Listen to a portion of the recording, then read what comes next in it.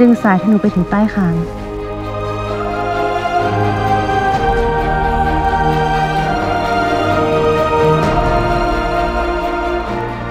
แต่เราจะประหม่าไม่ได้นะคะท่านพี่ ท่านพ่ออาจจะไม่พอใจที่ท่านพี่แต่งตั้งตัวเองเป็นผู้สำเร็จราชการแทนพระองค์ ลิขิตรักคืนนี้ 20นาฬิกา20 นาที ดูทีวีกด 33 ดูมือถือกด3 plus